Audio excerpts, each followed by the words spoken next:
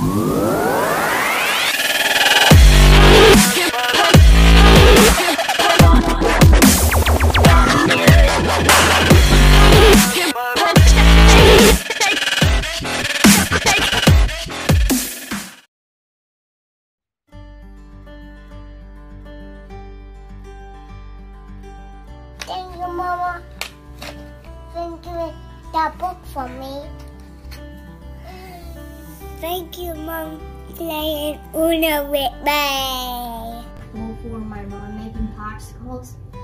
and um, pushing me on a swing, swing.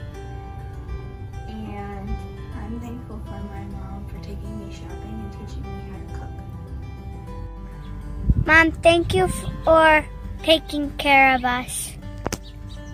Mom, thank you for taking care of, it, care of us and loving us. Mom, thank you for encouraging me and always wanting the best for me.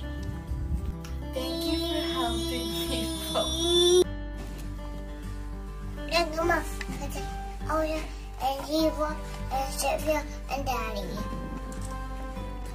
Mom, thank you for making me such a big Disney fan and buying me Vans. I love you. Thank you for being cutie. Say, Mom, thank you for being cute. Mama, thank you for being cutie. Mom, I love it when you play Legos with me. Happy Mother's Day. I love my mom because she's an awesome mom. Mom, thank you for caring for me and letting me play video games. I love you. Happy Mother's Day because I wait no no no no. Happy Mother's Day to all the mothers because they're all so supportive. Mom, I love it when we play cards together. Mom, thank you for helping me feel better when I'm hurt. I love you. Mom, you make me feel cared about when you take care of me when I'm not feeling well. Opal, I'm glad that you are my mom. You don't treat me as a second son. You don't treat me as the another family. You treat me as your family. And it reminds me of this old Jewish proverb that our teacher told us. And it goes like uh, it's when they didn't know when God had a million eyes, you know?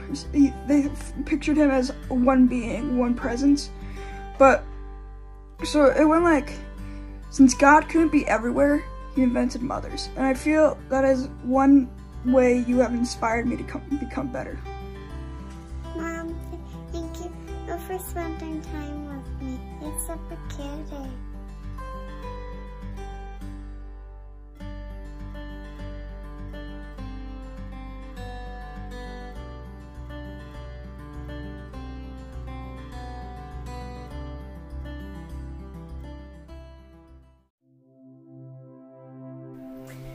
Hey everybody, happy Mother's Day.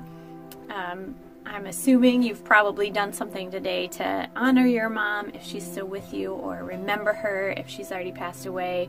And I know I'm looking forward to celebrating with my mom this afternoon. So I wanted to talk to you guys a little bit today just about um, mothering and how that is bearing the image of God. So I want to ask you guys to do something a little different for just a minute. Uh, in just a minute, I'm going to ask you to pause the video and I want you to think about a time in your childhood when your mom or grandma or aunt or foster mom or some other caregiver took care of you, that a tender memory or a time they nurtured you or cared for you, a special tradition. And then once you have thought of that memory, if you're watching with somebody, share it with them. So go ahead and pause the video and do that.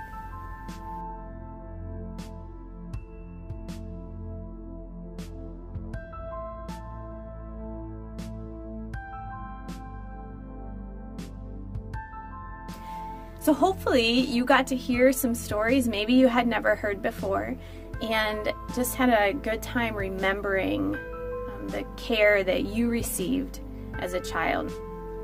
In thinking about this, my um, for me this week, I remember my mom every time I was sick she had this special blanket and she would tuck me in on the couch and I remember having she'd pour me ginger ale and it'd be next to me and I remember the feeling of her hand on my forehead, you know, like when they check for a fever. And just feeling so safe and cared for. So I was asking some friends what their memories are and I heard stories about their mom waiting up for them after their first job when they would get home late and just sitting on the porch and talking and feeling wanted just to have that time together. I heard stories of a mom who, when things got unstable and rough at home with dad, would take the kids out for a drive and play a game and make the best of a really hard situation. And I heard a story of mom who would just sit with their kiddo when they cried and they didn't know why they were crying, but mom would just be with them. And I just got to thinking about all of these memories. And we all have moms that are flawed, right? Moms that, and caregivers, grandmas, aunts that weren't perfect, but there were these moments that they did care for us. And I think if we as flawed people, broken people, can give those things to our kids and they were given to us, what does that say about God, who calls himself our Father? who places himself in this parent role. I just am amazed that we get to experience that from humans, even though we're flawed. And God says He is the perfect parent. And He calls Himself Father throughout Scripture. But as I started thinking about this, I remembered um, in Matthew Matthew 23, Jesus compares himself to a mother hen. And um, so if you've seen a hen, they um, they're always gathering their their chicks. And that's what jesus said he wanted to do like a mother hen. And even when the chicks are rebellious and they keep trying to wander off he just patiently just keeps gathering them like a hen. And so he compares himself to this very motherly role. And then in Hosea 11, I wanted to read this for you guys. Because all the characteristics in humanity are found in God.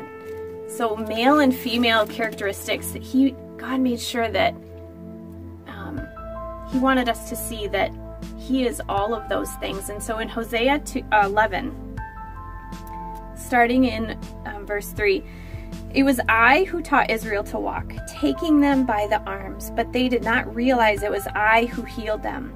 I led them with cords of human kindness, with ties of love. I lifted the yoke from their neck and bent down to feed them. So here's this parent taking time to bend down and teach their kid to walk.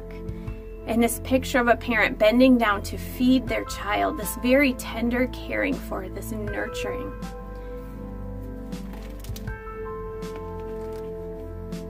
So in Genesis, then, right in the beginning, in Genesis 2, it says, if I can find it, Genesis 1 So God created man in his own image. In the image of God, he created them, male and female, he created them. So God is this nurturing, tender parent to us. And he made us in his image male and female, He made us in His image. We are image bearers of God. And there is this tender, nurturing side of God, and we see it in the caregivers in our past. And so, what I want us to think about is that God revealed His character to us in those caregivers. Because if they're made in the image of God and they took care of us, they were there for us, they made us feel safe and wanted, and they cared for us when we were sick and they nurtured us. That that was the character of God revealed in those caregivers. And so for us to say, that is the way God cares for me. When I was sick on the couch and I felt like my mom has got me, she's going to make sure I'm okay, that that's how God has me. That God is going to nurture me, care for me when I'm ill. Maybe for you it was a caregiver who just patiently kept loving you when you were in the bratty season of your life. And to think if we're image bearers of God, that that's how God is patient with us when we're being rebellious. And so, if God has made us image bearers, made us to bear his likeness, then it makes me ask the question, what for? Because it's not just um, so that we're like him.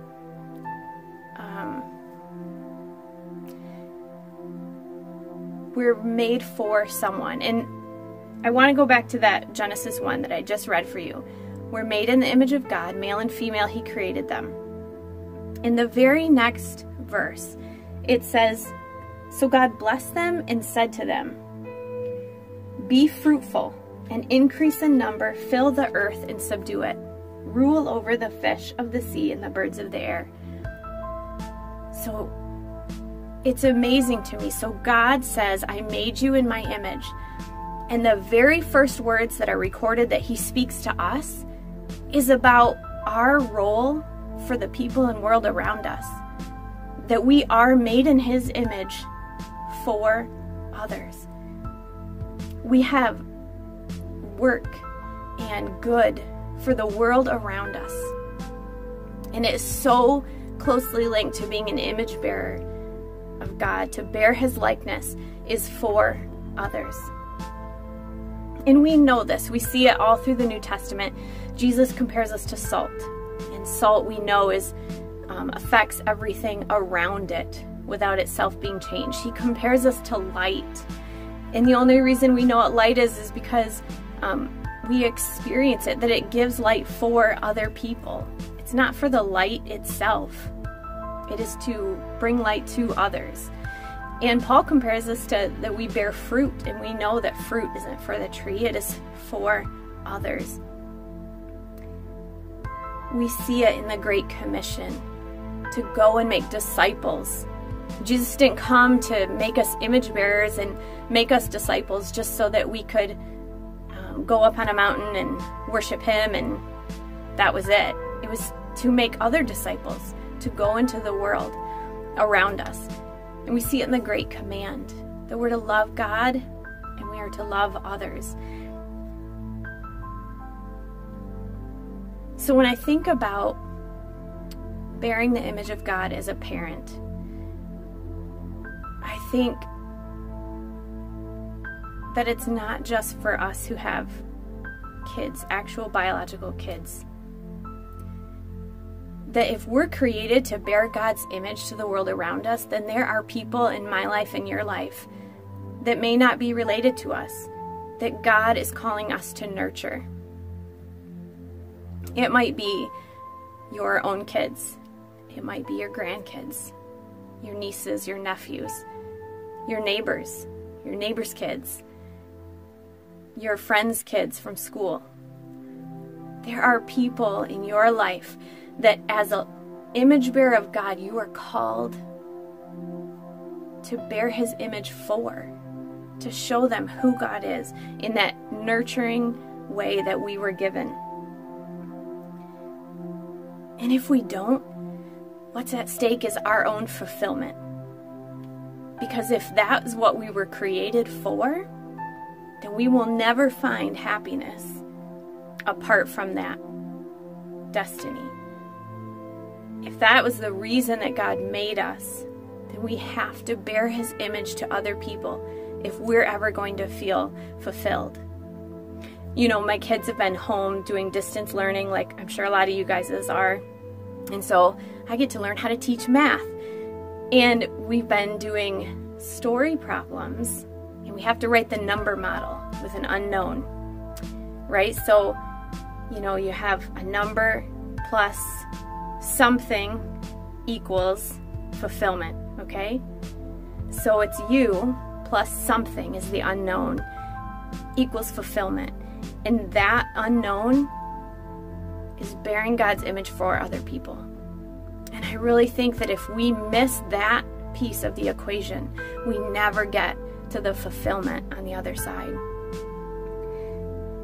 And the other thing that's at stake, of course, is people's eternity, their, their eternal relationship with a God who loves them. In 2 Corinthians, Paul tells us that it's been entrusted to us, this ministry of reconciliation. It's been entrusted to us to give this reconciliation to other people. So, what do I want you guys to do? This is what I've been trying to do this week is think about two things. Think about the image bearers that you had in your life. Think about your mom, your grandma, that caregiver. And spend some time thanking God. Thank you, God, for the way that person made me feel wanted. Because I know that was your image. You want me the way that person showed me. So take some time to th- think about what characteristics of God were revealed for you in those caregivers. And then the second thing is to talk about with someone who are you bearing the image of God for? Who is it in your circle, in your life, that you're called to bear his image for, to, to show his likeness through that nurture? And I would just say to those of you who have pain in this area that your mom or your caregiver maybe just didn't fill a need, didn't make you feel wanted, didn't say good job, whatever it is. And every year, Mother's Day, you just feel that pain in that pit. You read the Hallmark cards and it's just tears you up because you didn't have that. I just want to encourage you to talk to God and a friend about that or a counselor that God, this hurts and I should have had that and I didn't. To resolve that pain and then turn around and give that to someone else. Give that to the people around you. If your mom didn't say good job and that just wounded you to this day, you have an opportunity to turn around and give that to someone else. In Hosea um, 2, God promises that He would turn your valley of trouble into a door of hope. And it's not just hope for you, but it's hope for the people around you. So, wherever you're at in your relationship with God, in your relationship with others, wrestle with who are you bearing His likeness for? Because it's for somebody. And on the other side of that is their reconciliation and it's your fulfillment. Thanks for tuning in.